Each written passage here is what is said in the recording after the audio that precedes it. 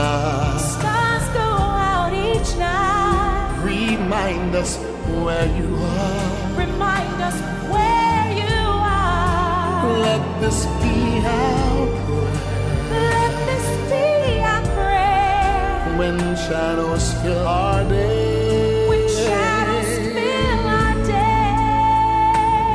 Oh Lord, lead us to a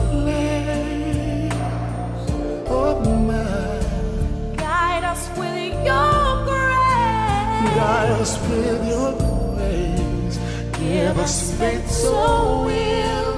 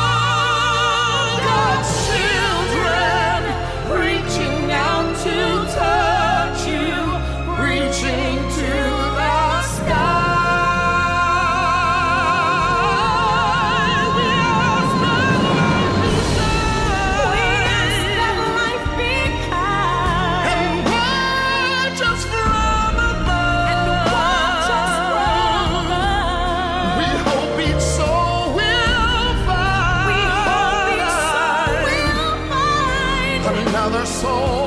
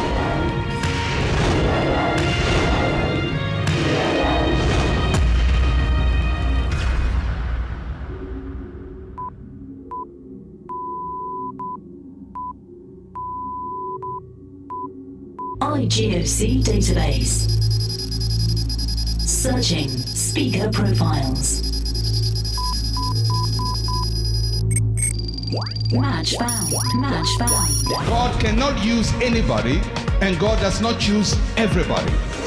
He chooses some people and rejects some people. We don't serve a capricious God. We serve a God of logic, of intelligence, and of knowledge. There is something definite that God looks for when He's looking for a leader. When God comes and He wants to empower you to prosper, there is something He's looking for. He doesn't just come to empower you because you came for IGOC. He empowers you because there is something specific He's looking for, and you qualify for that. Mensa Otabil, teacher, philanthropist, motivator. IGOC 2009. Please welcome your speaker, Dr. Mensa Otabil. Loaded. Loaded. Today I'm talking on a topic that is very simple. It's simply stretch. I'm talking on stretching. Tell somebody next to you, get ready to stretch. Or tell another person, get ready for some stretching. Amen. God wants to stretch you, He wants to stretch your faith, and He wants to stretch your capacity. You cannot receive what you don't have the capacity to absorb. And so, if God wants to pour much into you, He's going to first stretch your capacity. Let's bow our heads for prayer. Eternal Father, tonight we submit ourselves to you. We submit our wills to you that you will work in us, that you will condition our minds, that you will help our thought processes to be aligned with your purposes. We pray, Lord, that you grant us the courage to do what we know is right. Give us the hearing ear. Give us the listening, understanding heart, Lord, that we may not only be hearers, but doers of your word also. In Jesus' name we pray. Amen. Stretching involves the process of pulling or pushing something in order for the thing to achieve growth and increase. So, for there to be growth and increase, God has to push and God has to pull you in different directions so that you can respond to what He has for you. You cannot step up without stretching. If you go from one stair to the other, or from one rung of a ladder to the next, you have to stretch one foot over the other. So, stretching is a process. And for you to step up, you're going to need stretching. You cannot take what is offered you without stretching. If God has something for you, He places it within your reach, not in your hands. He said, The kingdom of heaven is at hand. That simply means it's close enough for you, but you have to do something to appropriate it. You can't take what is offered until you do some stretching. The women would tell you, you cannot give birth until there has been some stretching, very uncomfortable. And you cannot grow until there has been some stretching. So, these processes that I've mentioned all require that we stretch in one way or the other. I'm going to ask you to turn with me in your Bibles to the book of Isaiah, the prophet Isaiah, chapter 54, and I'm going to read from verses 1 to verse number 3. Isaiah chapter 54, verses 1 to 3. Isaiah is in the New Testament, the Old Testament of your Bible. It's just before Jeremiah, if you know where Jeremiah is.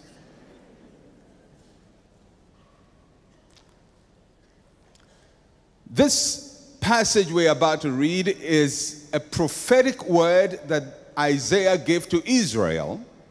And he gave it to Israel at a very difficult moment in the history of the nation. The nation is going through crisis, there is despondency.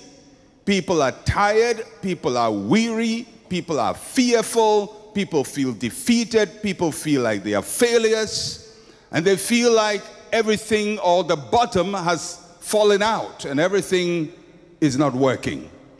In the midst of such despondency, the prophet Isaiah comes with the word of God to the children of Israel, and these are the words that he speaks to them. He says, Sing, O bearing, you who have not borne, break forth into singing and cry aloud, for you, you who have not labored with child.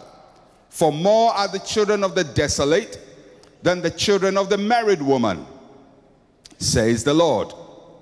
Enlarge the place of your tent and stretch and let them stretch out the curtains of your dwellings.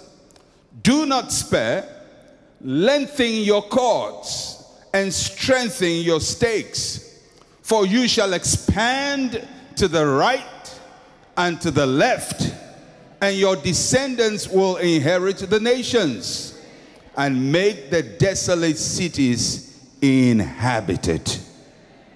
This is a powerful prophetic word to a people who feel very depressed. I like how the Message Bible renders the verse 2. This is how the Message Bible renders verse 2. It says, Clear lots of ground for your tents. Make your tents large. Spread out. Think big. Use plenty of rope. Drive the tent pegs deep. The part that I like most in this rendition is the part that says, Think big. This is what God is saying to Isaiah, to Israel through Isaiah. There are two groups of people that Isaiah is primarily addressing. The first group of people, he addresses them and calls them the barren. He says to the barren that they will bring forth into singing and shout. Basically, when the Bible refers to a barren person in this context, it's talking about a person who is unable to bear fruit. And it's not just talking about women who cannot have children, because he's talking to a nation. And there are children in the nation, and there are men in the nation, and there are women in the nation, and there are people who have physical children in the nation, but he addresses all of them as barren. So, this kind of barrenness is not just barrenness in terms of the fruit of the womb, but barrenness in terms of lack of productivity. The whole nation is not producing, they are in crisis, there are enemies around, and they are afraid to venture out to do anything great for God. And that creates barrenness.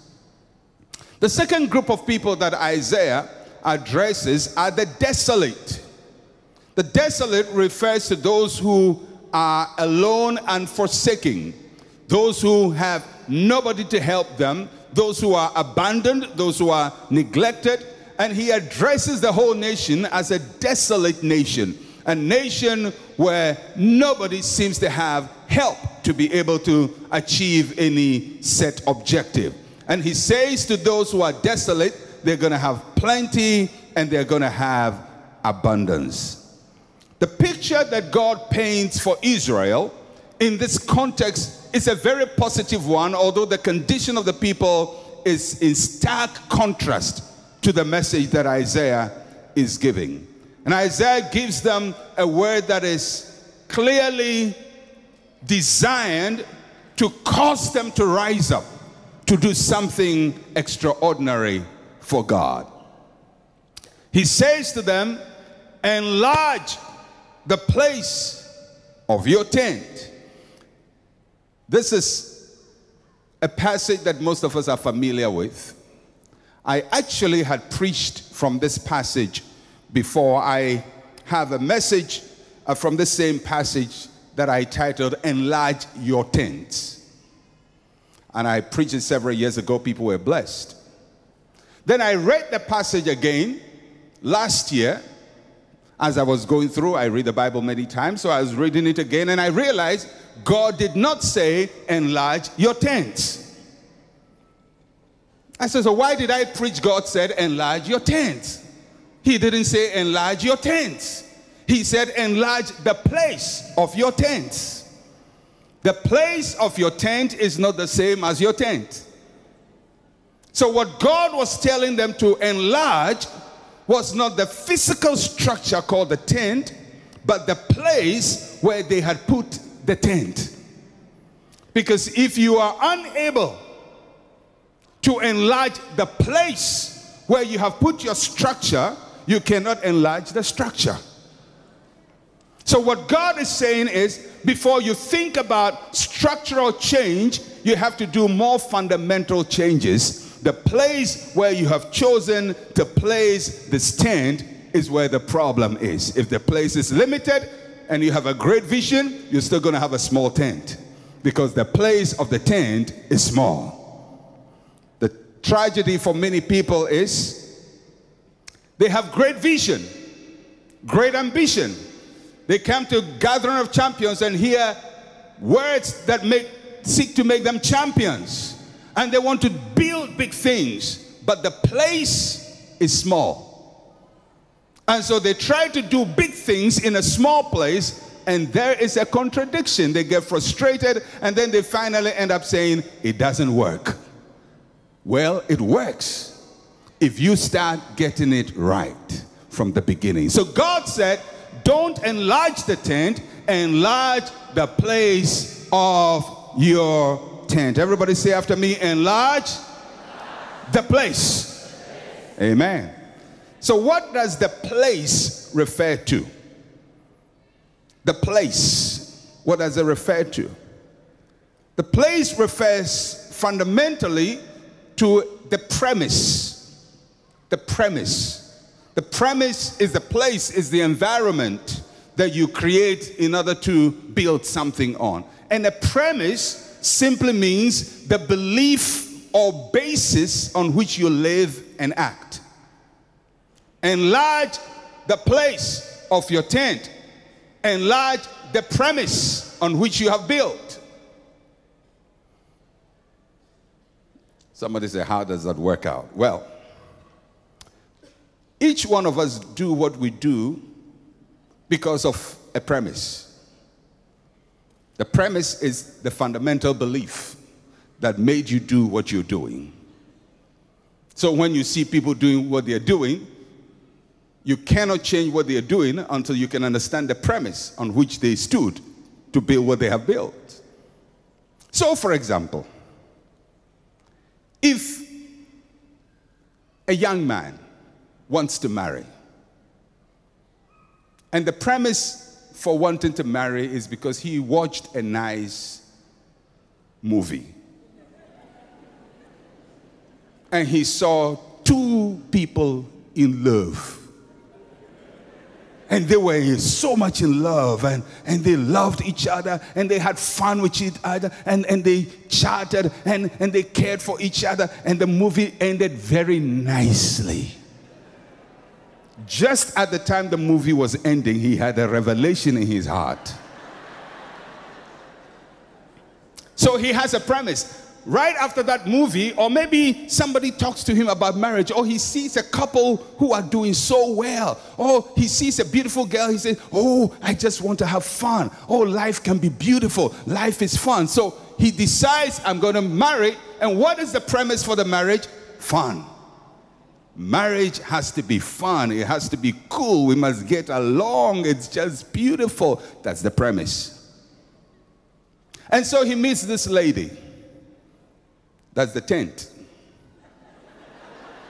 Now he's going to take that tent and put it on the premise. So he builds and he thinks, well, I've got my tent. That's my premise. Life is nice, it's cool, it's beautiful. And that's my nice tent. Sister Lucy. Lucy the tent. Then they get on, and uh, all of a sudden, things start working. And uh, problems come in, and there are difficulties, and, and Lucy is not fitting on the premise the way it was designed for it to fit. Lucy wants more, Lucy gets upset. Lucy gets emotional and then she gets pregnant and she's crying without provocation and there's no fun. And all of a sudden, brother comes and says, ah, I'm fed up. I want a change. And eventually, he's demanding a divorce. Why is he demanding a divorce? The tent is the same, it's the same Lucy. The problem is not Lucy. The problem is the premise, the foundation, the basis on which he constructed his marriage. And if he doesn't change that premise, he's going to marry another person on the same premise and it's going to fail. Because the problem is the premise, is the foundation, the, the basis on which you have constructed what you have constructed. And it's not only in relation to marriage, it's in relation to every, everything money, life, the premise. The premise is defined by two things. The first is location, where you place yourself, and the second is dimension, the space you operate in. If the dimensions are small, You cannot build a huge auditorium on a small piece of land. If you have 100 square feet, or let me be generous, 100 square meters of land, and you want to build a thousand seater auditorium on 100 square feet or meters of land, I know you are a man of faith. And I know you believe with God all things are possible. But may I just suggest to you, Mr. Faith, that your vision is too big for your premise. So if you want to have that big vision, then you have to enlarge your premise. Until you can change the place of your tent, you cannot do anything about your tent. So God comes to Israel and he says, The problem you are having, the reason you are barren, the reason you are desolate, it's not because there is a curse on you. The reason you are desolate and the reason you are barren is simply because you have constructed your reconstruction. Because this is the return group, the reconstruction group. He says, You built this whole enterprise on a narrow, limited, confined idea. And I cannot bless you because your mindset is too little for a big blessing to enter into it. Turn to somebody and tell them, Get ready to stretch. And tell them the problem is not your tent, it's the place of your tent. Because the tent, what is the tent? The tent is a structure. Is a structure. A structure is basically an object built according to plan. The plan is on the premise. The tent is on top of the premise. If the plan or the basis is wrong, the structure cannot be right. The tent also refers to a system. A system. A system is a mechanism that gets things done.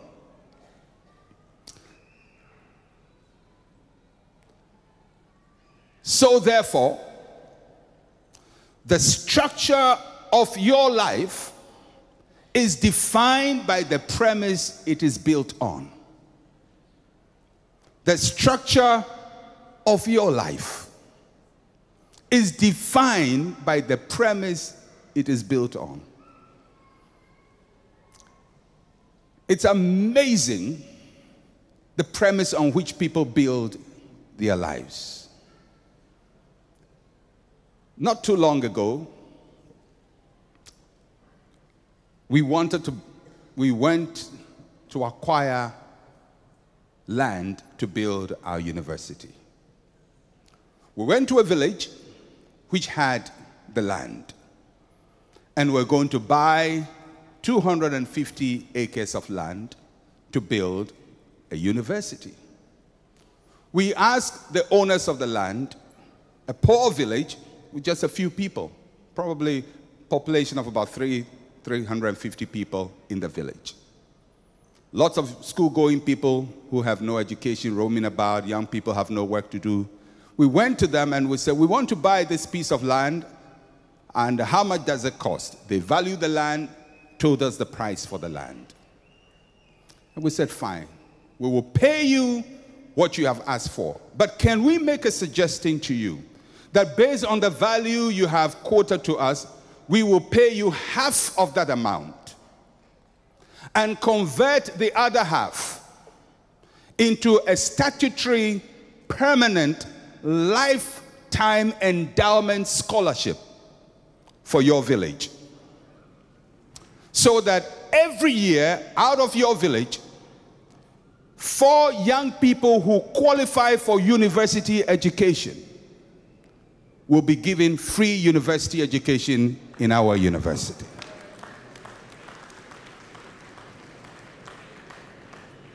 And we threw that challenge to them. In my mind, I thought this is a small village.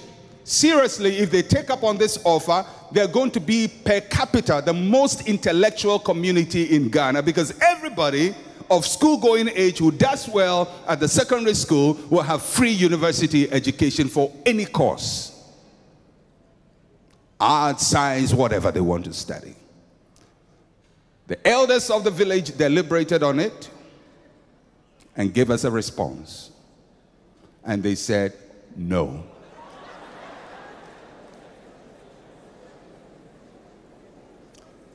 They said, We want all the money now. And then this is what they added they said, When our children grow up, they must learn to look for money themselves. So if you go to look at that village and it's poor, it's not poor because poverty found it. It's poor because the whole mindset is premised on a philosophy that undermines long term generational thinking. And so, no matter how much economic aid you give to them, there will be no improvement in that village because the premise is limited. The problem of poverty, my friends, is not just a lack of resources or money, but it's a mindset of limitation that sabotages future potential. Going to marry because I'm going to have twins. I'm going to have 10 children. Oh, by this time I have 15 children. Then they go through marriage and they have problem with having children. They want to dissolve the marriage. Why? Because the premise was not love for the person. She was going to marry a baby manufacturer. And if the factory refuses to produce, then the contract cannot work because the premise was a factory. Anytime you oppress any group of people, they will eventually rebel. I don't care who they are. I don't care if they can't read. I don't care whether they came where they came from, whether they're male, female, black, white, fat, skinny, short, ugly, or cute. If you oppress them long enough, any human being will fight back because we were not meant to be enslaved by anybody. We were meant to be created in his image and in his splendor.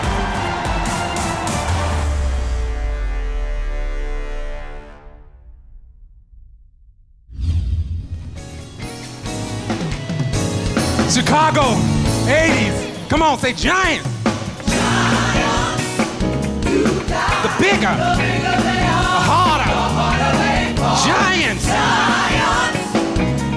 All you gotta do is just Sopranos.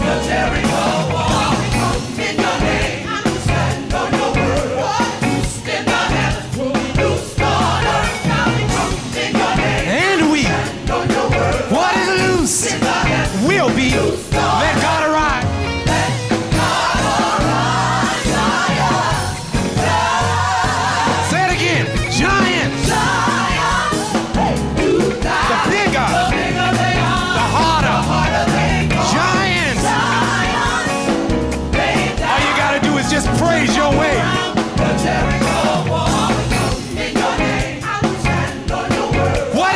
Loose will be. And we stand. What is loose will be. Let God arise.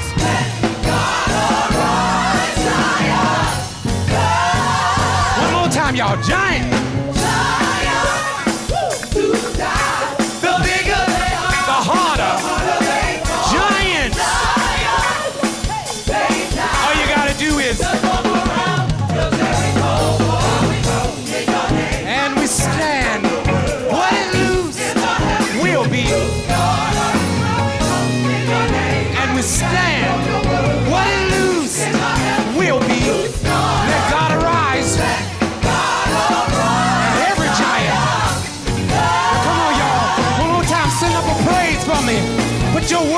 Worship out there.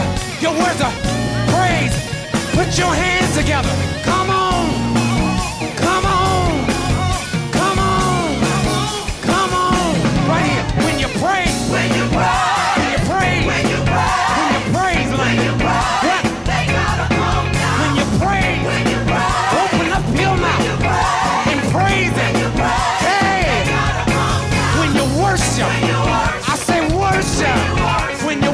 Worship. Get yourself a worship life.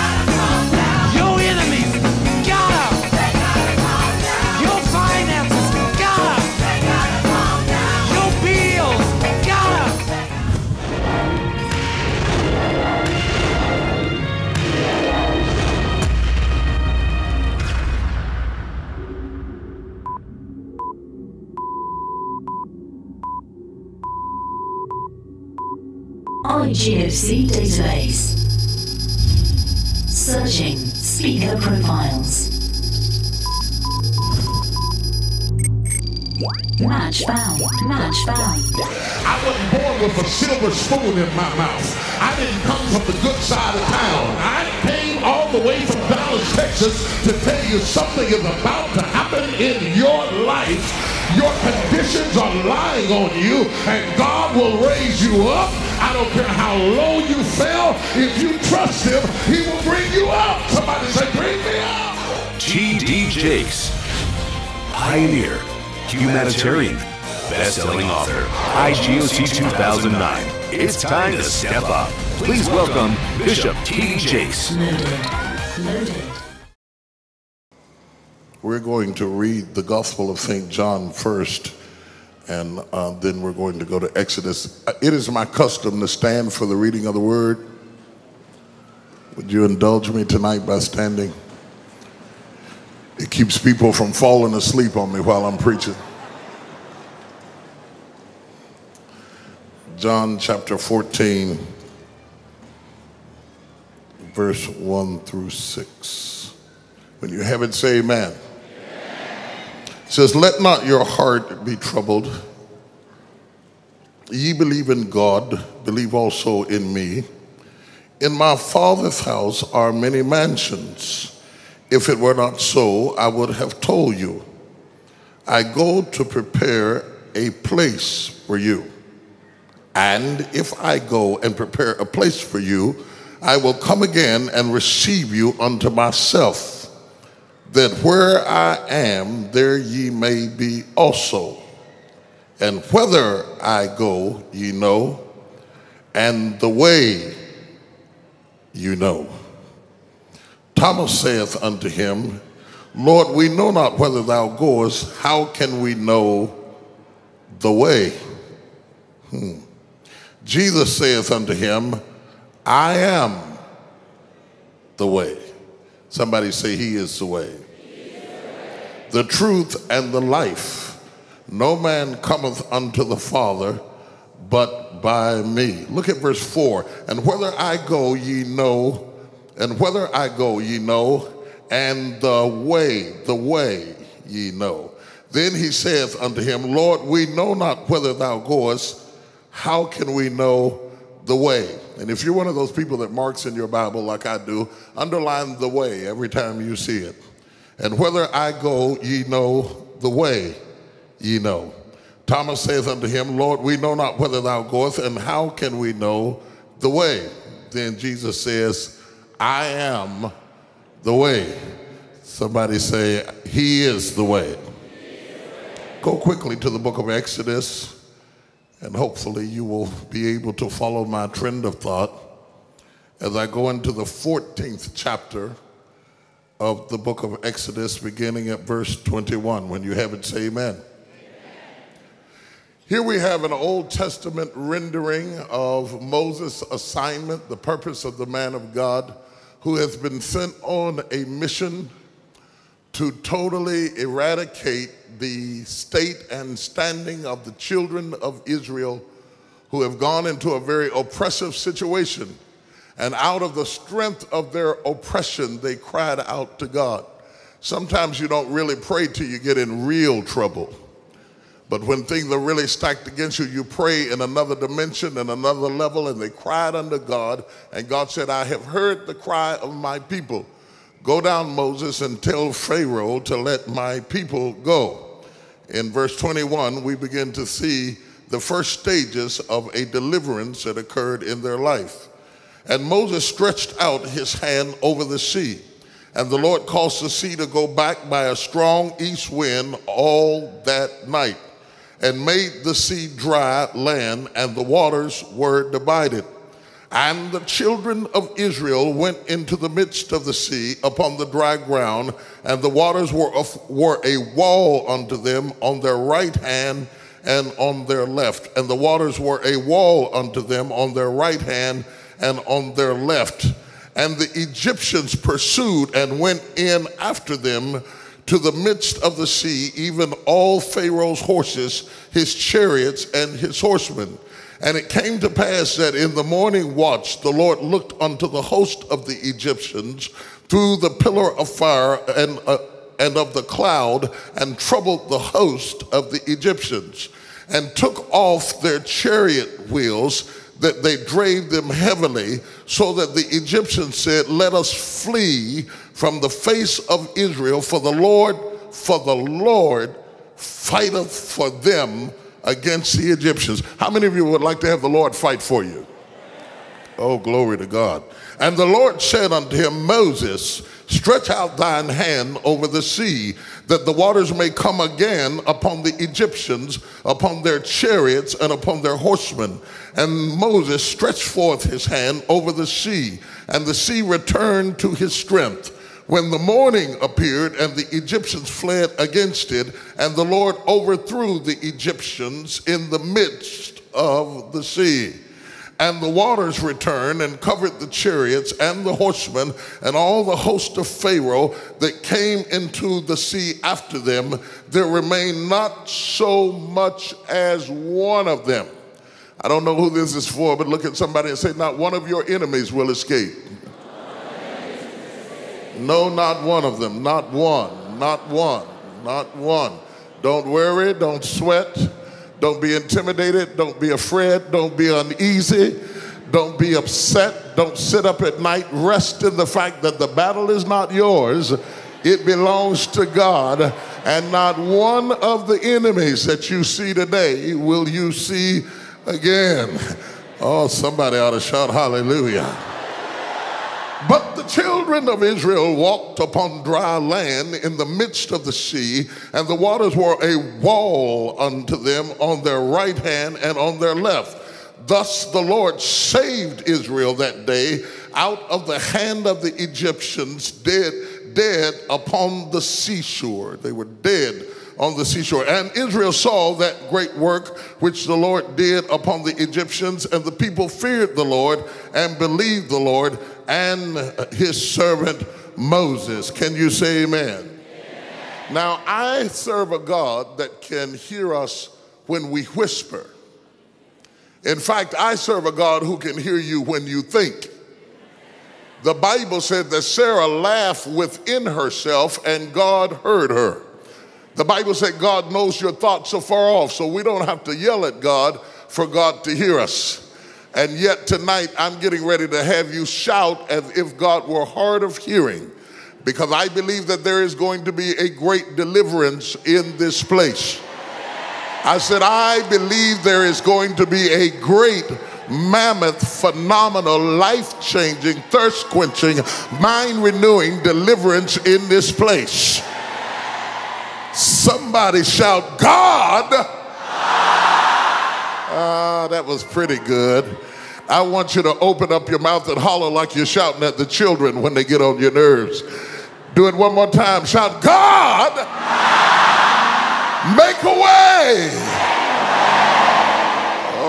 You just ask him to do what he does best. If there isn't a way, if you don't see a way, if the way is jammed up, if it's clogged, if you feel trapped, if you feel incarcerated, if you feel incapacitated, if you've done everything that you know how to do and you still can't get out and you see no way, we have a creative God who can create a way where there is no way. Do you hear what I'm saying tonight? Shout it one more time. God, make a way.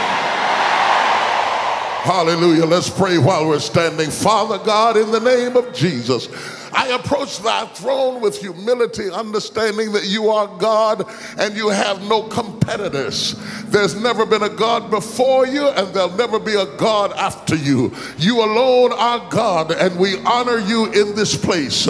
We are the sheep of your pasture. We enter into your gates with thanksgiving and your courts with praise. I pray, God, that you would give the kind of word tonight that answers somebody's question. Somebody has asked you a question on their knees. Speak in this place tonight. I bind every devil. I bind every foul spirit. I bind every work of iniquity. Holy Spirit, take over this place tonight. Throw your weight around. Show the devil who's boss. I thank you in advance for what you're about to do. Have your way. In Jesus' name, shout amen.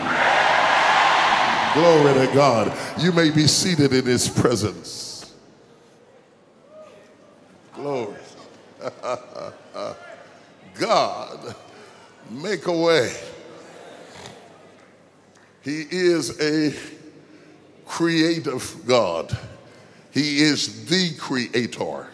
We are created in his likeness and in his image. That is to say, that we are creative because we are created by a God who is the creator. And many times you must begin to recognize then that God has a sovereign and an invincible way of bringing things to pass in our lives. I want to preface my remarks uh, to the Gospel of St. John, chapter 14. There is a great quandary that the apostles have found themselves in because they were walking with Jesus, expecting him to set up his kingdom on earth as they had thought that he would. But they did not recognize that there would be a cross and a process for him to undergo. They are dealing with the weaning process that God often takes us through from faith to faith, from glory to glory from one level of walking with him to the next level of walking with him. He is trying to get them to understand I am stepping up the game. I'm taking it to the next level. And in order to take it to the next level, I have to wean you from where you've been so I can take you to where you're going. Any mother who's ever weaned a child will tell you that that is not an easy process. It is often difficult for the child to accept nourishment in a new way. Similarly, God's children often become hooked to what God did yesterday, not understanding that today He desires to do a new thing in you. And if he is going to do a new thing in you, you have to have the faith to let go of the old thing that he did and release him to do a new thing in your life. Weaning a baby is often difficult because the baby refuses initially to accept food in a new methodology. And God has to wean us much like Samuel's mother had to wean him before he could go into the temple to be used of the Lord, there is a weaning process. It does not mean that God is not still a provider. It does not mean that God is not still a way maker, but it does mean that you can get hooked on how he did it before and not recognize him coming at you in a new and fresh way. A careful look at the life of the disciples will reveal that they always had trouble recognizing Jesus when he showed up in another way. You will remember when the storm broke out that night and the disciples were floating in the boat in the midst of the storm. And Jesus, the answer, the way, was coming toward them, but they thought he was a ghost because they did not see him or perceive him clearly in the storm. It is that same type of confusion we feel in the Gospel of St. John, chapter 14. They are whining and upset because they do not understand the change that is taking place. Somebody say, change. One of the hardest things to implement with a group of people, with a family, with a person, with a business, with a company, it doesn't matter what it is, the most difficult thing to institute is change. The concept in commercialism that we would use is called a paradigm shift, where not only are you changing your methodology, but the entire mentality has to be changed in order to go into the next era. It's not just giving the building a facelift and a fresh coat of paint, but it is a changing of how and what and why and when and where we do what we do in a corporate sense, you often have to let some people go because some people are so in love with how they did things that they lack the flexibility to move into a new dimension. They don't have the liquidity of thought or the nimbleness of mind to be able to go from one era to the next. But how many know that if you're going to walk with God, you've got to be flexible? You've got to be mobile. And many, many times we become bound because we associate ourselves with people that are immobile and inflexible. And we have to make the decision do you want the commendation of the people that you're surrounded with more than the presence of God? Or are you willing to let go of where you've been so that you are released to go where God would have you to go? My brothers and sisters, tonight, we live in a destination oriented society. When I got ready to fly to London, there were thousands and thousands and thousands of people in the Dallas airport. All of them were moving from place and place up and down the various wings and corridors of the airport. And they were choosing where they were going to rest and wait based on destination. People are excited about destination. They advertise destinations for vacations, for cruises, for ventures. They advertise destinations. We are a destination oriented society. But the reality is, we cannot become so hooked on the destination that we don't realize that with God, it is not always so much about the destination as it is the things that happen along the way. You will learn more about God in process to becoming what He would have you to be than you do in the fulfillment of that process. He is forever a teacher. And in order to teach you, sometimes God will take you through a process. You signed up for the destination, but God takes you through a process because in the process of becoming what he would have you to be, you learn some things about God that you would not learn anyway. Somebody say process. That's, that's what people don't want to go through. They don't want to go through process. We want everything now. We want it quick. We want it fast. We want to get to the destination in a hurry. We want to get dinner done in a hurry. We want to get to the meeting quickly.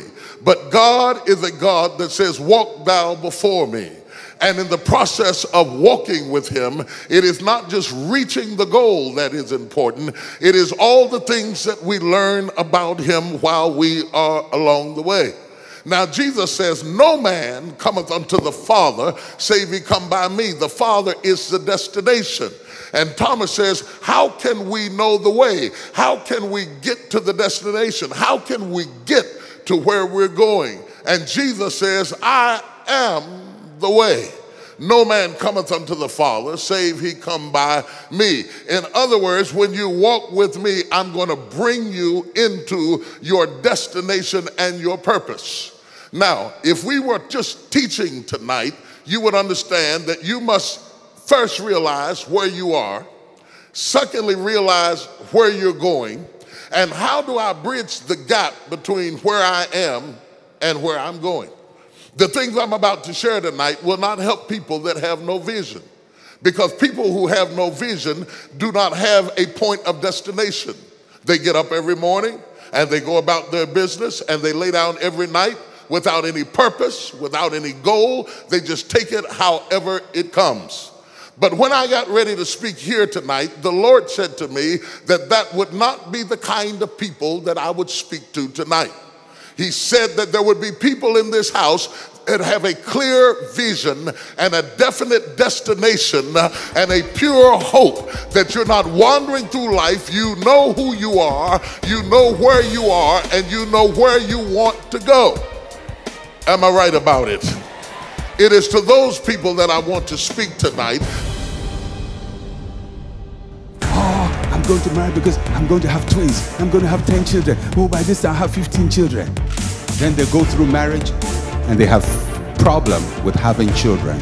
They want to dissolve the marriage. Why? Because the premise was not love for the person. She was going to marry a baby manufacturer. And if the factory refuses to produce, then the contract cannot work because the premise was a factory. Anytime you oppress any group of people, they will eventually rebel. I don't care who they are. I don't care if they can't read. I don't care whether they came where they came from, whether they're male, female, black, white, fat, skinny, short, ugly, or cute. if you oppress them long enough, any human being will fight back because we were not meant to be enslaved by anybody. We were meant to be created in his image and in his splendor